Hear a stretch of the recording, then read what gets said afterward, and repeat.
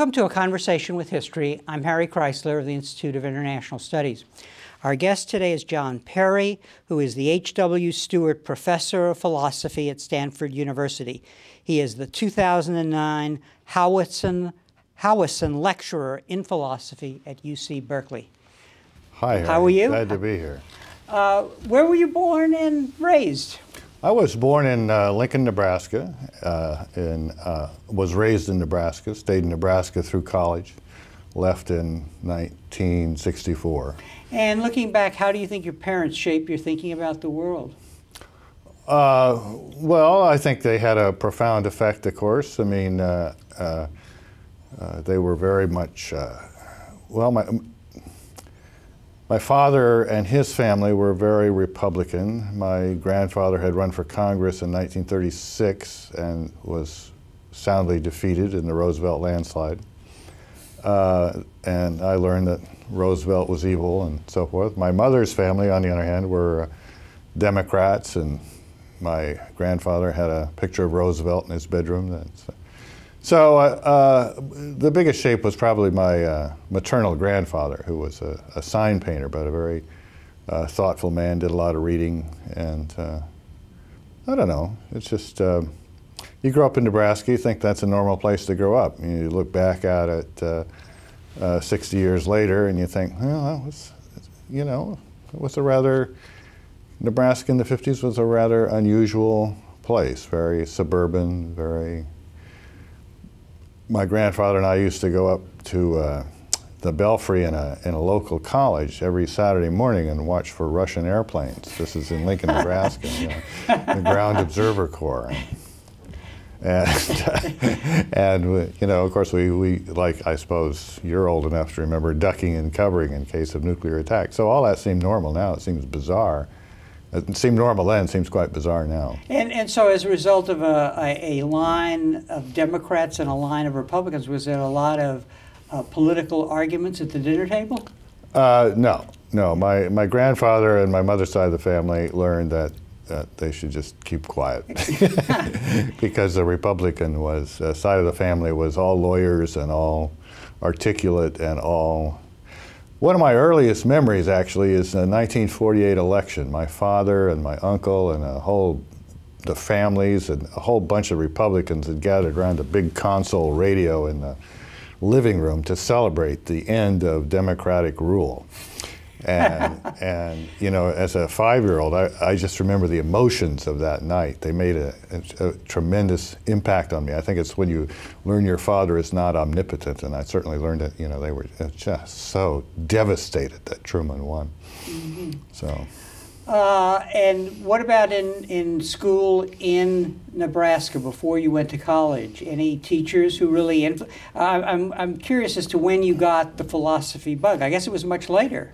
Well, there was a, there was a couple of really good teachers. There was one guy uh, uh, named Glenn Fosnot. Uh, actually, his son was my was one of my best friends, and he was just a homeroom teacher. Actually, he must have taught something else, but he had a big influence, and he was he was. I think he may have been the one that told me to go read Will Durant's Story of Philosophy. That's the first philosophy book I ever read.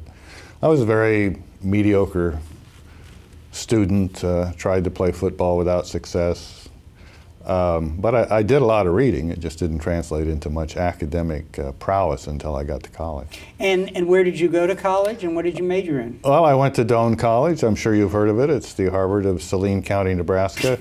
I wanted to go away from home and I wanted to play football, and it was 25 miles away. And uh, with only about 300 students, I thought I should be able to make the football team. Uh, mm. And did that work out? No. did they have a football team? Well, they had a very good football team and uh, uh, played my freshman year, or I sat on the bench my freshman year. And at the end of the year, or at the end of the, you know, the, the football season, the coach and put his arm around me and said, Perry, you're small, but you're slow. but I bet you'd make a really good student. so that was very inspiring, and I, I, got into academics. And and but but uh, I believe I read somewhere that you wanted to be an engineer. Uh, well, yeah. I, I, as I said, I didn't have my eye on the ball as a high school student. Uh, actually, originally I wanted to go to West Point, but my eyes weren't good enough. And, um, probably wouldn't have gotten in anyway. But so finally, I went to Doane and I had a vague feeling I could be an engineer, but they didn't have a school of engineering. I forgot to check that out. so that was that was about the way things were going then. Then I met then I met my wife, uh, my now my wife of uh, 46 years, uh, Frenchie, in my freshman year, and she straightened me out. And so you majored in philosophy? Majored in philosophy and um, went to philosophy graduate school at uh, Cornell University, and it's uh, philosophy's been very, very good to me. Mm-hmm. You know, I think philosophy is this discipline that, that, that whose main function is to provide a little, a little place for, for bizarre occupants of the gene pool, right? Until, until, uh, until, you know, maybe centuries later, their particular skills mature, right? So mm-hmm. I think if you go back 50 years, all the people that are now great computer programmers would have been philosophers, but then now they're now they fit into society in a more normal way. And, and so, what does it take to be a philosopher? What, what are the skills involved? You, you uh, uh, uh, thinking alone, uh, or what? Well, that's, that's an interesting question. Of course, as somebody said, philosophy has many mansions, and, uh, uh, but the dominant philosophy in, in, in America during my career has been what's called analytic philosophy. It doesn't mean too much, but it means basically you're supposed to be able to write and think clearly and uh, uh, not get into a lot of pomposity in the way that philosophers often do. And, you know, I've been happy in that movement.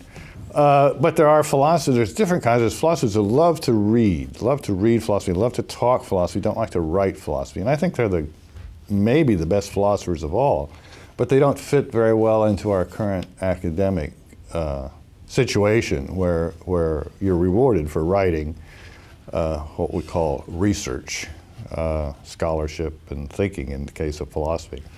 Uh, other people like the, like uh, F.H. Bradley, a great turn of the century philosopher, he just didn't like to interact with much of anybody. Didn't like to give seminars. Didn't like to talk to people. Just like to sit alone and read his books. Uh, Bertrand Russell, just tremendous energy. Loved to talk. Loved to argue. Loved to lecture. Uh, so so it takes all sorts, but an, an appreciation for thinking. Mm-hmm. Either slow, careful thinking in the process of writing in your own study, or quick on the feet thinking in the in the seminar room. Uh, all all all great philosophers are good at one kind or other of thinking. Mm-hmm. So so does the the fact that you have to publish as a philosopher bias the pool? Because you might have really great philosophers who would be great undergraduate teachers. Well, yes, you might have uh, not only great undergraduate teachers, but huge contributors to their department. Uh, in the old days, you used to, to get by with that. There was a fellow named Rogers Albritton who was a, a professor at uh, uh, Harvard for a long time, then he went to UCLA, published very few things, but had this wide reputation as a brilliant interlocutor and uh, a great person for graduate students to talk to and so forth and so on. And I remember when the chairman at um, at uh, UCLA, a, a, wonderful guy named Monty Furth made the case that uh, we should hire Rogers Albritton. Of course, the comparison's always with Socrates. Socrates didn't publish anything, but everybody he was around benefited by talking mm-hmm. to him, and that's the way Rogers Albritton would be. And uh, so Albritton got appointed, but the dean sent a memo that said, "Don't try that Socrates argument on me ever again." Nowadays, uh, that kind of appointment would be very, very hard to make. Um, but those are often the most useful people in the department. Uh, people like me who aren't very good at getting things read uh, and, and, like to write uh, may be much less useful to their colleagues because you know I depend on my colleagues to find out about the literature and on my graduate students rather than being a resource for them. Mm-hmm. So, I mean, I don't think I'm useless, but. Uh, what, what sort of courses are, are useful preparation for philosophy other than philosophy courses? I, math or? Well, I think math is always a good preparation for anything. I think people that uh, uh, should always, I mean, my, my educational view is, is kids should take some kind of math each year as long as they possibly can even if they're not really making much progress, just to keep those brain cells working. I wish I'd done that. I quit taking math about halfway through college when I decided that wasn't going to be the area I went into. Uh, but linguistics these days can be very, uh, very useful because so much philosophy connects with language. And then cognitive science in general. Um, computer science, the more theoretical parts of computer science, AI, those are very relevant. Of course, if you're doing the history of philosophy, it's good to know some history. Political science, your field is a very uh, closely associated field. Uh, psychology is very important these days. Uh, philosophy has gotten a lot more interdisciplinary uh, over the years I've been involved. When I was a graduate student at Cornell, there wasn't much connection with any other uh, department. The feeling was, well, you know, philosophers uh, doing our analytic philosophy, we're just kind of our own thing. And uh, if other departments want to come and have their conceptual mistakes straightened out, that's fine. Uh, now it's much more interdisciplinary. Philosophers uh, get ideas from experiments and cognitive psychology and uh, also all sorts of things.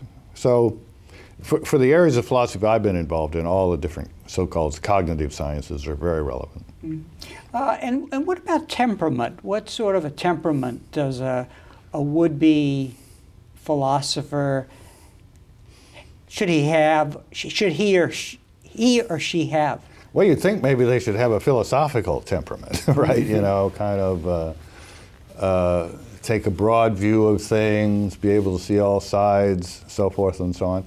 I can't say honestly that I see much correlation between having a broad philosophical temperament and being a successful academic mm-hmm. philosopher. I mean, some do, uh, maybe a little more than the average run of the mill uh, uh, population. But unfortunately, or fortunately, you get prima donnas and you get a lot of people sit around department meetings and don't seem aware that the university has any other mission than promoting philosophy, you get small-minded people and so forth and so on. So all types? All types, I'm afraid. But, but there must be a lot of the loneliness of the long-distance runner, runner uh, uh, in philosophy, that is that you go off and, and, and do a lot of thinking and so on? Well, it's, it's, it's compared to a, a lot of other things that happen at the university. A lot of philosophy is more like math. Uh, uh, or where, where, where, you know you basically the work is done sitting alone trying to unravel some problem. Uh, and less done uh, with a laboratory group. Um, you know I try to have group meetings every so often of the students who are working with me but frankly it never works very well. Um, so it's, it is much different than the kind of team-based scientific endeavors that are, that are fairly common in the university. Does that kind of setting require a, a kind of courage, basically, that, uh, you know, as you're, as you're grappling with problems, and especially if you're making kind of a, a, a breakthrough in some area? Well, I think chutzpah might be a better word. Yeah, I mean, you're sitting there and you're, I mean, like, I'm going to give a talk this afternoon on free will. Now, people have been thinking about free will for a long time, uh, and very, very smart people. I mean, uh, start, you know, go back to Lucretius. He was no dope, and he had his theory of free will. Then we got the people I'm criticizing, really brilliant guys like Carl Ginet and Peter van Inwagen. So for me to walk into a seminar at, at Berkeley, the greatest university in the world, with all these smart people like John Searle, God knows what he believes about free will, and, and, and say, hey, I figured out the answer. Uh, you know, I'm defending Hume, so at least I got one really smart guy on my side. Uh, but I'm going to tell you what Kant and van Inwagen and Ginet and, and all these guys have wrong. It takes a certain amount of chutzpah or stupidity, but you know, why not? On the other hand, it's a little bit like Jimmy Carter, you know. He sat on his, uh, when he was governor of Georgia, he sat on his front porch and he met all the candidates that came through running in the Georgia primary or the Georgia caucus. And, and he had this great revelation that these guys weren't any smarter than he was. and uh, actually, you know, you might say, well, he was wrong, but I think, I think he was a pretty good president. But anyway, so as, as you go along in philosophy, you know, you start off kind of awestruck. I mean, you're in this profession that's the world's second oldest profession, and, you know, all these brilliant guys from Plato. Uh, and uh, then you meet some people that, you know, you just say, well, no doubt about it, that guy's a lot brighter than me when I you know, you're going to meet a you meet a Bob Adams or a David Lewis. His names might be familiar to some of my colleagues, or John Searle, and you say, well, you know. On the other hand, you you do a lot of reading and you meet a lot of people with good reputations and so forth. That that uh, you have a little bit of the Jimmy Carter feeling. Well, gosh, I mean, my ideas are as good as those. I've come to have the following view of philosophy that, that's a little bit metaphorical. I think there's a muse of philosophy. Mm-hmm. And I think the muse of philosophy uh, is like the, the, uh, uh, the head person in the public defender's office, right?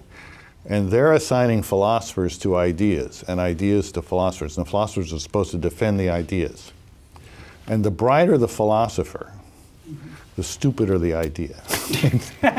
so it's like, like you give your very best defense lawyer the guy who's most obviously guilty and say, defend him, right?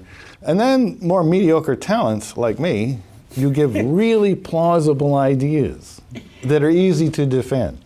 So that, that's my that's my picture, right? I see. now, in the case of the the person who has the the worst idea, I won't tell you who I'm no, picking. No, I'm not. no, uh, just the, following up on the metaphor. Does he then improve the idea, or is it like banging his head against the wall? No, no. He he becomes in, he or she becomes incredibly famous for working out some elaborate scheme where the idea seems within the scheme quite plausible. So, so like uh, Leibniz, for example, would be a good example with his ideas of of uh, monads and and really, really isn't any causation and so forth and so on. Bizarre ideas, but wonderfully defended. Uh, so, give us a general sense of what a philosopher does. We've talked about the skills. I mean, are you are you bringing order, uh, a set of rules to a, a domain of ideas? Or well, is that a fair question? Is that a fair question? I, I, I suppose to a certain extent. I mean, um, I mean, a lot of people find it baffling. Well, what do you do in philosophy? I mean, like science is research, but what do you do? You just they kind of have the feeling, well, philosophy is a finished business. There's all the dead philosophers, and philosophy must consist of teaching. But actually, no, you get involved in the same I had a, I had a teacher once named O.K. Bouwsma at the University of Nebraska. I went, went to a seminar that he put on when I was going to Doane. And he said the first step in philosophy, the, the basic philosophical talent, is the ability to quicken the sense of the queer, which in those days meant notice what's odd about everyday things. Uh, get puzzled about personal identity, right? Or about, you know, what happens when I lift my hand. Uh, that's that's the not every some philosophers don't have that. Some philosophers just pick up problems from the past and they can do a good job too. But to me that that's that's the fundamental thing is you get puzzled. And it turns out that there are these long there's problems that have been puzzling to people from time immemorial. Mm-hmm. and we can think about them now just as they could think about the very same problems in plato's time or in descartes time. Of course we have we have a lot more constraints, we have a lot of science, we have the criticisms that have been made of earlier philosophers, and we should take all those things into account. But when it comes right down to it, and you think, well, what, what is the relation between the feel of a pain that I'm aware of in my consciousness and the brain state that is caused physiologically by the thing that causes the pain? Are they the same thing? It doesn't seem like a brain state, but what else could it be? There's nothing in there but the brain. When you get it, I mean, you, you're probably thinking thoughts not all that different from the ones that Descartes thought. Mm-hmm. Uh, you're thinking about the same problem. And uh, I think it's the great thing about, I mean, the philosopher Gottlob Frege asked in uh, 1892, he said, well, A is identical with A, A is identical with B. If they're both true, they both say the same thing because there's just one thing. But you can learn something from A is identical with B that you can't learn from A is identical with A. How's that possible?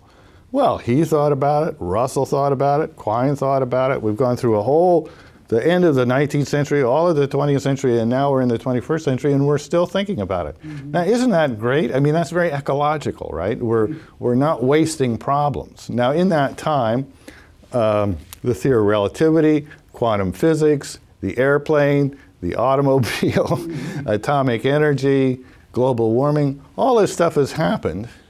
And yet we're still thinking about the same problem. Now, some people might think, what a dumb discipline that never gets anything solved. But I think, isn't that great? We have these problems that last forever. And, and, and, and in finding the complexity in the simple, you're, you're sort of clearing the, the thought, basically, especially your students, basically, and, and uh, uh, helping them think about things in their own existence in a way.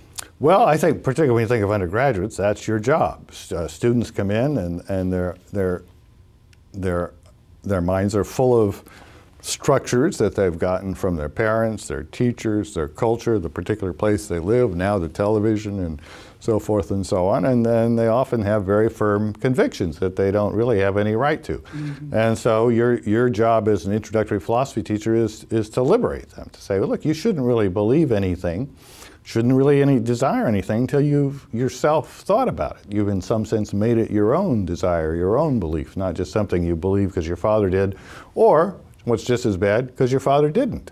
Mm -hmm. um, so shake them up and uh, uh, teach them to think. That's what you do with, uh, with undergraduates. And philosophy problems just turn out to be a great way to get that process started because um, uh, because at least for some students, they, they find them very gripping, uh, and they learn what a good argument is, what a bad argument is, how something they believed all their life can turn out to be not at all obvious. And that's very good. And when, when you get to the end and you get to graduate students, that's very different. They've got some big project they're deeply into, and they know more about it than you do, and there's this huge literature, and your job is just to kind of keep asking questions and make them clarify things and tell them that they're getting too much into jargon and so forth and so on. What, what, what does creativity look like in philosophy, uh, especially when you're, you're, rehashing a lot of the old problems? Mm -hmm. Well, uh, creativity is looking at an old problem in a new way, even if the new way is something that's uh, borrowed from a couple centuries before, and all of a sudden some philosopher makes it seem plausible where it seemed implausible before. Um, say, take, take this problem I'm talking about this afternoon. When I was a graduate student, everybody thought that Hume's right and, and uh, free will and determinism were compatible. That is, everybody feels, well, gosh, if the world is run according to laws, including human actions, are we really free? Very natural reaction to say is, no, we're not. Hume said, ah, yes, you are. Being free is just doing what you want, and it's okay if your wants in a law-like way determine what you do, you're free. Very plausible view. When in 19 70 probably, if you took a poll of analytic philosophers, 90% would be compatibilists. Uh, I went to a conference a few years ago uh, and discovered that while I hadn't been paying attention, this whole field had been transformed by people like Ginet and Peter van Inwagen, who'd, who'd re revitalized these arguments for incompatibilism, the arguments that they say, no, the common person's intuition that there's something screwy about being free if the world is run in a law-like way, including human actions, can be given a good, firm, solid argument. Well, that was very original. Mm. Produced a lot of good work, a lot of good distinctions, even though, in my humble opinion, they're wrong. Now, now let's go back to your education because you, what did you do your dissertation on at Cornell? Identity was it? Identity, yeah. I, I uh, I went to Cornell uh, primarily because it was a hotbed of uh, Wittgenstein studies at the time, and I'd become very enthralled with Wittgenstein.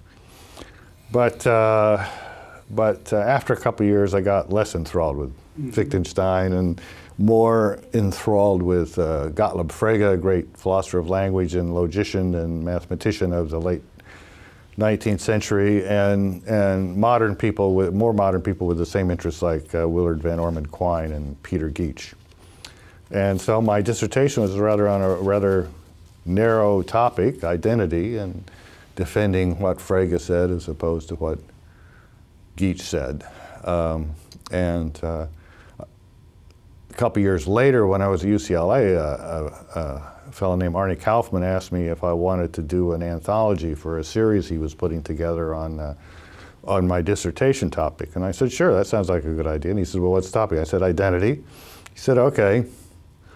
And, uh, you know, a couple months later, he brought in a contract to do an anthology on personal identity. I think it never occurred to him that anybody could be interested in just identity. so he interpreted as personal identity. So I was too embarrassed to uh, to say anything. So I did an anthology on personal identity, and that, that's been a big part of my research ever since. Mm-hmm. And that was the subject of your Howison uh, uh, lecture here. Uh, yeah, to, uh, yesterday. Yeah, the nature of our of the self and self knowledge very related to the problem of personal identity. Uh, what is it? To, what is the difference between thinking, well, uh, I am sitting here and John Perry is sitting here? Mm-hmm. Well, I believe I'm sitting here, and I believe John Perry is sitting here. Uh, you believe John Perry is sitting here, but you believe you're sitting there. So, mm. so these I thoughts are, are very interesting. What, what's the difference between thinking about yourself in the first person and thinking about yourself in the third person? Uh, what's, what, what's the difference between the meaning of the word I and, and say your proper name?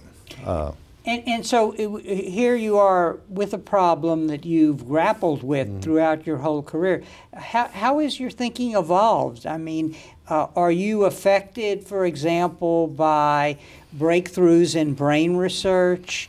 Uh, between by fads in psychology and so on. I know in the, the 60s, identity was mm-hmm. was quite a craze.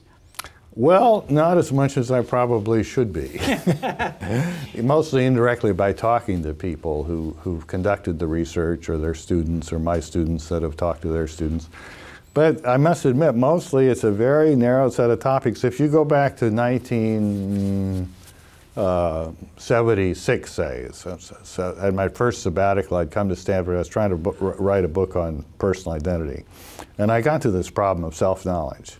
And I had this confidence that I had this whole, whole bunch of uh, concepts from, from work in the philosophy of language. And then this appreciation of the problem of the self and personal identity from my work there. And I thought, well, I'm kind of uniquely qualified to put those together and develop a theory. And it, it turned out to be very difficult to, to work within what what I thought of as a Fregean, Gottlob Frege inspired framework, I thought was pretty much correct, uh, to explain the difference between just these I thoughts and, the, and thoughts about yourself it, under some other guise or some, mm-hmm. some other mode of presentation as he would do it.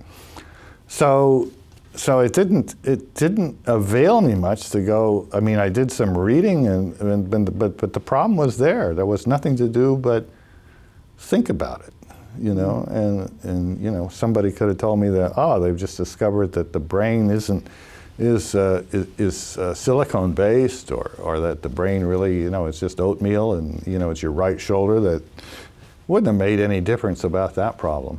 Mm-hmm. Uh, so it's, it's, in that way, it's a little bit more like math or logic than, uh, than a lot of other parts of academia. You, in your lecture and, and in your book, uh, Identity, Personal Identity, and Self, you use the example of uh, uh, a story told by Mach, the, the scientist, philosopher. Right. Uh, what is it he saw? And let, us play with that a little here to give our sense, our audience a sense of well, your lecture. So, right. So the Mach example is Mach relates this early in the analysis of sensations, uh, uh, and I don't know so, so, his point isn't exactly the one that in, intrigues me about it. But he, he gets on a bus uh, uh, in, uh, in Europe, or a tram, and, and it's one of these things that has a, win, uh, a mirror at the opposite end, so the conductor on a crowded day can, can see people sneaking on and off.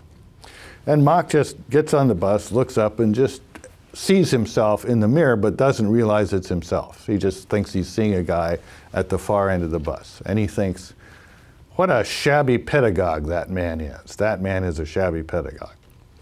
Now, if you think about it, uh, uh, that man really refers to Mach himself because he's referring to the fellow whose reflection is in the mirror, and he is the fellow whose reflection is in the mirror. So he's saying about himself, or he's noticed about himself, that he's a shabby pedagogue, but we wouldn't really ordinarily call that self knowledge. But after a while, it, it suddenly hits him my goodness, that's me. So now he believes I am a shabby pedagogue. And that's what we would ordinarily call self knowledge, the kind of thing you express with the first person. Uh, I suppose he used German, but we'll forget that. uh, and then you can imagine that, uh, that you know, he might, he might if somebody asked him, he'd say, well, I guess that means Mach is a shabby pedagogue. He could refer to himself in the third person. I mean, de Gaulle used to do that. Bob Dole used to do that. I don't know about hmm. Mach, but if Mach had been in a Bob Doleish or General de Gaulleish mood, he might have said, Mach is a shabby pedagogue. So there's three different ways of saying the same thing, and they really correspond to three different ways of thinking mm-hmm. the same thing. We say it's the same thing because it's the same individual and the same property, being a shabby pedagogue. But the thoughts are quite different. They have different causes and they have different effects. When Mach realizes that he's a shabby pedagogue, that is when he realizes what he would express with, I am a shabby pedagogue, then he might, you know, wipe the lint off himself. Mm-hmm. As long as he doesn't realize that it's he that he's seeing, he might if he's really upset by the lint on the guy's tie, he might shout at him at the other end of the bus. Get that lint off your tie. You're disgracing all the pedagogues in, in Vienna. So we have, we have three different thoughts within a, within a way the same truth conditions that a certain person has a certain property, being a shabby pedagogue.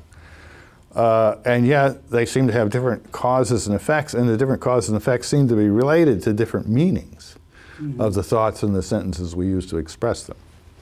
Now, you note about this, you have to be in a certain theoretical framework to be bothered by it, right? I mean, you, I, mean, if you're if you're an analytical philosopher and you're coming from the works of Frege and Russell, uh, and you and you think that there's a strong connection between the meaning of a sentence and its truth conditions, uh, and you believe more or less in truth, then then you might be bothered by this. Somebody coming from a much different angle Uh, uh, might just think it's a trivial thing and not worth worrying about but to me, it was of fundamental importance. And, and, and what, what would be significant for somebody who's not a philosopher? I mean, does this, does this open up, following, let's assume somebody follows what you're saying, does, does it open up your understanding in a way about yourself and, and the world around you, as opposed to just the philosophical, the debates mm. within philosophy? Um, probably not. to be honest. Uh, because in a way, what the philosopher is, what the philosopher, meaning me here, is having trouble with is understanding distinctions that ordinarily ordinary people make every day with no problem, right? It's mm-hmm. like uh, you know, uh, my friend Michael Bratman worries about a lot about philosophy of action, what's involved in scratching your head intentionally. Mm-hmm. Uh, now, when he gets this all figured out, it's not going to help people scratch their heads. Mm-hmm. The, the, the main effect uh, is, is, is negative. That is, people, uh, bad arguments convince people of crazy things that somehow have profound effects. Mm-hmm. Uh, if you're convinced um, by, you know, in the immortality of the soul or the immateriality of the mind, um, it, it may be that, that these, these views are connected with, with misunderstanding the logic of self knowledge at some point, or misunderstanding uh, uh, basic things in the philosophy of action.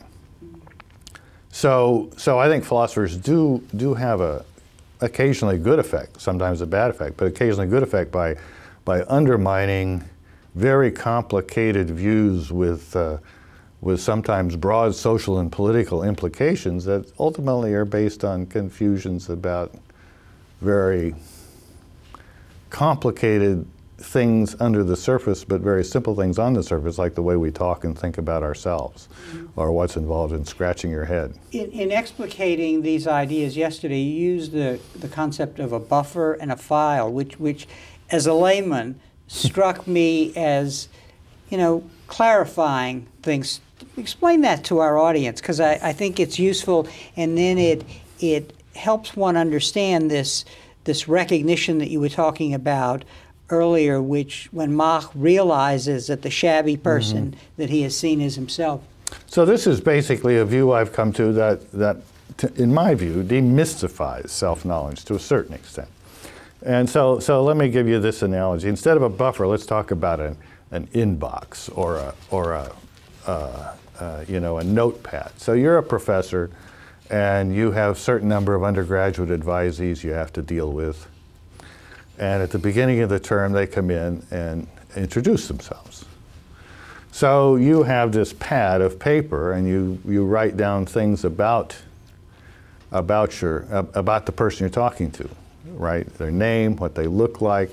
What are you trying to do there? Well, you're trying to do two things. You're trying to get information that allow you to recognize them again. And you're trying to get information that will allow you, once you recognize them, to say something intelligent to them and to help them with their problems. Mm -hmm. So two really different kinds of information. And, and while you're in face-to-face -face contact, I call that accumulation of information uh, a, a, a buffer, right?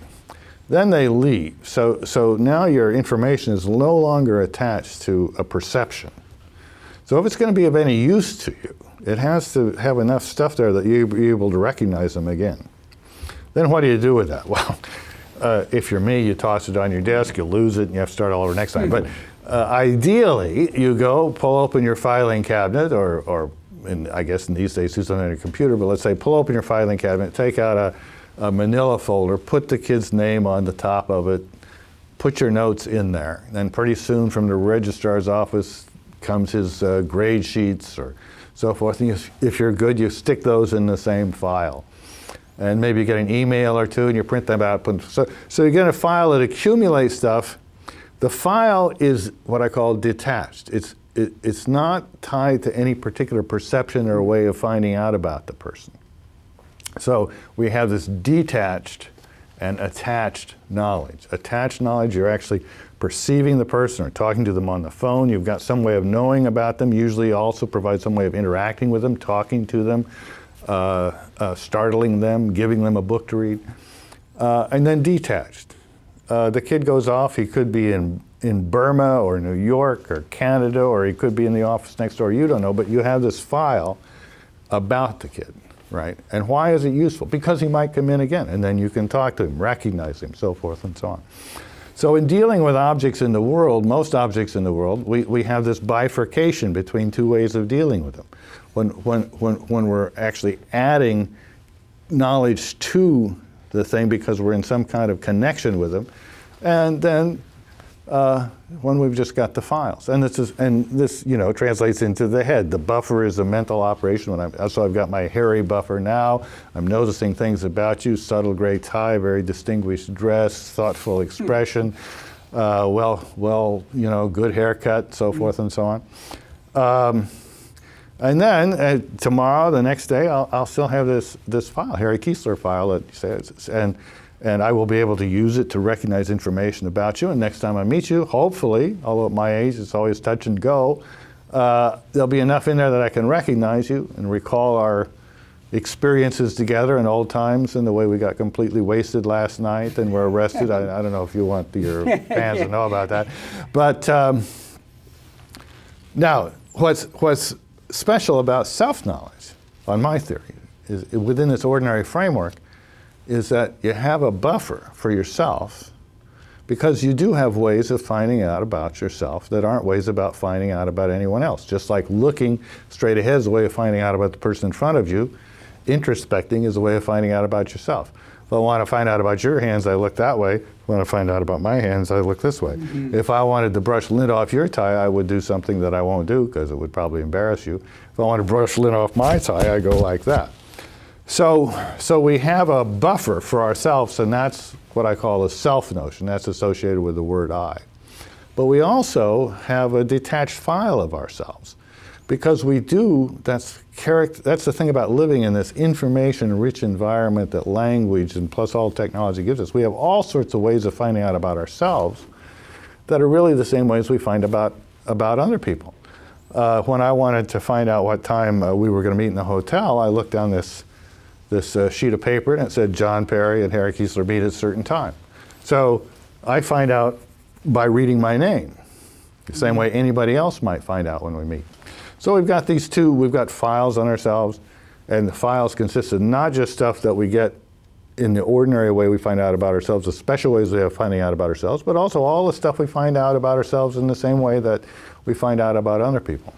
Now, what's special is that in the case of self-knowledge, you never need to divide them. Mm-hmm.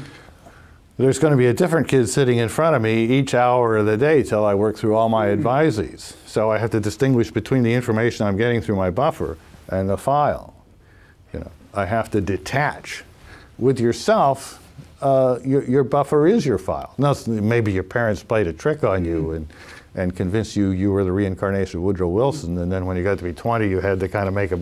But mostly, mostly we get it right. Mostly we know who we are, and uh, so, so our our self knowledge is very special and unique, but it's not special and unique because of some mysteriously cosmically perplexing immaterial, immortal self. It's different because of ways that once you have a proper theory of knowledge, you can see are just just a special case uh, that comes with identity. So that's that's how it's supposed to work. So, so back to Mach on the bus. Right. So what that that moment of recognition is he seeing the uh, the buffer and the file simultaneously and saying ah well, so so so his case is kind of special. So he sees a guy at the end, and he says, I, as I would say, opens up a buffer.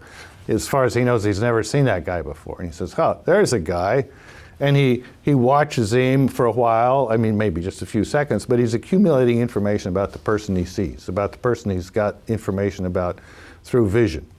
Um, and so for a while there, he's got his self notion. He's picking up knowledge about himself. If his stomach rumbles, he knows that in the way one knows one's own stomach is rumbling. I mean, uh, uh, if his glasses are dirty, he knows that in the way we know our own glasses are dirty. Uh, and at the same time, he's got another buffer for that guy. And then all of a sudden, he realizes, hmm. right, that these are buffers of, of the same person. They need to be merged. Mm-hmm. Uh, another example of the same thing, not involving the self, you're you're, you're talking to someone on the phone and you're looking out your window and, and, and seeing a woman in a phone booth. Uh, and it turns out the person you're seeing and the person you're talking to are the same. But you might go quite a while without realizing mm-hmm. that. You've got two buffers person I'm talking to, person I'm seeing, mm-hmm. and you realize they're the same. Same with Mach, except one of them is is the self buffer, the one where he keeps, where he stores information that he picks up in those ways that we just know about ourselves. But but is he is he realize is, is this a new piece of information to go into his file that he's the rumpled person that he sees in the mirror? Yes, it is. A, it is a new piece of information, and that's an interesting point because that that gets at, at uh, uh, one one of the pro- one of the aspects of the problem is that kind of information a is the same as B, uh, where it, it, it is something that traditional philosophical theories of information have a problem with. This goes back to the problem I mentioned earlier that Frege had about identity sentences. Uh, if we think of information as, well, what does the world have to be like for this sentence to be true? Or what does the world have to be like for this thought to be true? Then a natural way to do it is, well, you say, well, what objects are involved? And what do they have to be like? So if I think Harry has a gray tie, what, is the, what does that thought have to, what does the world have to be like for that thought to be true? Well, this individual right here has to have a gray tie. So that's, that's what you learn. That's the information. But, but what, what, how about the difference between Harry has a gray tie and that man has a gray tie? Well, at that level of information, you can't get at the difference because you are that man and you are Harry. Mm-hmm. So you have to back up and adopt a slightly different way of looking at the information that I call the reflexive theory, which readers can get my wonderful book, Reference and Reflexivity, makes a great uh, Christmas gift, you know, small, compact, uh, and read all about. Uh, and, and this, uh, in other words, our, our ordinary ways of thinking, it suffices to just keep track of when people are saying the same thing and what people think and what they learn, just in terms of the objects they're learning about and what they learn about them. But in a lot of cases that fascinate philosophers and that you need to get straight to make the whole theory work smooth, that doesn't quite work, and you have to back off a little bit. That was, that was where Frege's problem came from. And, and the problem of self knowledge is again an example of that. Some of the puzzles about self knowledge are really just special cases of this puzzle about, about uh, how, how do you represent when you learn when A is B. If A is B, there's just one thing you're learning about, but it seems like there's two things involved. Mm-hmm. And you have to kind of give up the ordinary, as I call it, the subject matter level of analyzing knowledge in order to understand what's going on. Uh, for a number of years, you've actually had a radio program uh, uh, modeled after car talk called philosophy talk. Yeah, now we don't we don't like to say it's modeled after car talk Oh, because that was a joke I heard yesterday. yeah, no, I mean it actually was, but we don't like to say it because program directors say, "Oh, another imitator of car talk." See, So, so now our official story is no, it's it's, it's modeled after Money Talk with I Bob. Brinker. I see. Well, that's a better uh, comparison in these times. So, what what are you trying to do there? Are You you trying to uh, with your your partner uh, Ken Taylor. Ken Taylor from the philosophy department at Stanford, trying to. Show the utility of philosophy for everyday life, bring philosophy to the masses. What's your goal and how are you doing it? Well, I would say the goal is twofold. In, in the first place, we, we, we think, I've thought, Ken thinks for a long time, that uh, uh, a lot of people are naturally have natural philosophical interests, and they would enjoy philosophy if they knew about it. Uh, uh, but but in American culture, it's it's it's somewhat under. It, it's low profile. In other words, you have a lot of people that go through college and learn that they like literature and spend their lives uh, reading book reviews, reading books, and enjoying. Not being, they're not necessarily academic professors of literature, but they enjoy literature. Same should be with philosophy. Philosophy is a wonderful enterprise. It's been going on forever. Uh, and at least a certain percentage of the population is going to be intrigued by it, and they ought to have this appetite uh, sustained by public radio in the same way that people that like music and literature do. So that's the first thing. The second thing is that we think that the standards of discussion in philosophy, where you don't deal with sound bites, but we have a whole hour to discuss a, a problem. We, first, we, we work out a couple of concepts between ourselves, then we have an expert come in, then we have callers.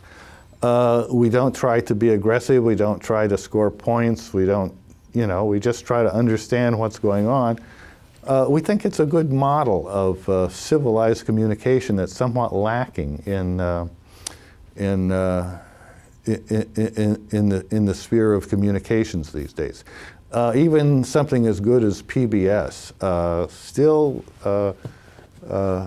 you know, you're very, usually when, when um, people get to an issue of principle or a philosophical issue or, or something that comes down to some basic disagreement between political philosophies, they say, well, you know, that, that just kind of depends on your basic political philosophy and move on. As if once you get that far, you really can't discuss it intelligently, mm-hmm. right? Abortion. Well, you know, this gets down to what you think the human soul is.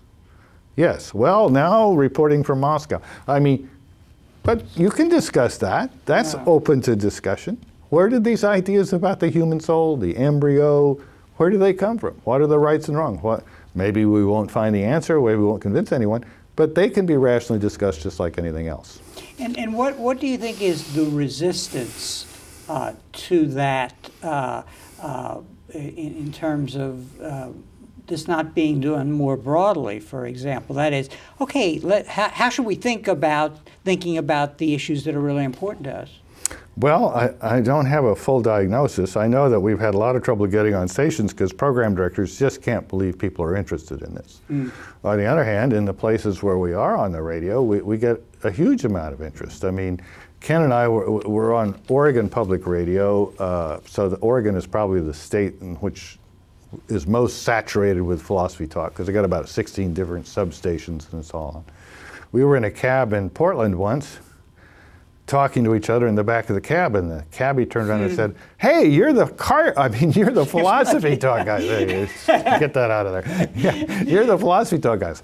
So I, there is there is a public for it. We get people get our uh, podcasts and download our program and listen to our program. We always have plenty of callers, but there's a certain blindness uh, on the on the part of the program directors. Uh, and, and if you look at institutions like the NEH and so forth, philosophy just tends to be, in America, underrepresented. I, I, I, you know, I have various theories. Of, uh, a lot of it, up higher education in America originally was based on the normal school concept of basically you're teaching, you're, you're, you're teaching teachers, you're training teachers, and the humanities were basically English and history. Those were uh, philosophy was came lately. In, in Europe, where universities grew more out of these ancient monast- monasteries and, and things like that, philosophy's always been a bigger presence. You, you uh, in your lecture and in some of your writings, uh, evince a, a, great wit. Thank uh, you. And I'm, I'm, I'm curious what you think the roots of that are. Is it that as a philosopher, you, you sort of uh, think uh, in terms of meta concepts and that uh, a humorist is sort of once removed from that? Or is it just something that comes out of your background? Well, probably both. I mean, uh, my family always uh, liked humor, and um, also, uh, I don't know, there's these various psychoanalytic interpretations of people that have to be funny, you know, comedians usually terribly unhappy and looking for acceptance. I suppose that's all part of the mix, but I do think you're onto something. I think there is a, a kind of a, a connection between philosophical thinking, looking for unexpected connections, and and mm and uh, uh, we'll take George Carlin, be a great example of somebody who steps back and, and looks at an ordinary word or an ordinary usage and say, that's really amazing. We do things like that. And a lot of philosophy consists of the, of the same thing. I have probably the, the thing I wrote that uh, has been most read is not my incredibly profound analyses of the human condition and the nature of the self, but my article on procrastination. And I suppose what's unusual about that is it's more or less a defense of procrastination. And mm -hmm. maybe it would take a philosopher to, to think of defending procrastination.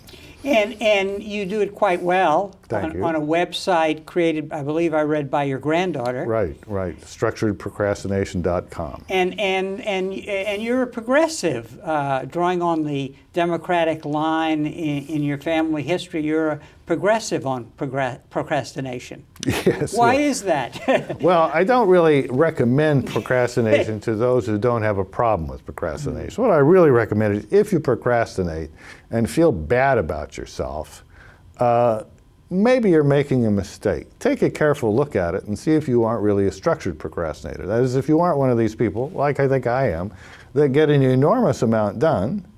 Uh, While you're procrastinating. Yes, yes. But as a way of not doing something else, mm -hmm. right? Now, that's not the perfect way to be. That's not the way Aristotle would want the perfectly rational animal to behave. But for most of us, it's a, it's a pretty good compromise. And then if you have, as I do, good self-deceptive skills, then, you can, then you can convince yourself that you've got this really important project that really isn't important. And then, then you're home free, right? Because mm-hmm. as a way of not doing something that really isn't that important, you can do all sorts of things that you, you, you uh, will get a lot of credit for doing. And, so. and in, in fact, the great enemy here, you say in your newest second essay on procrastination, is perfectionism.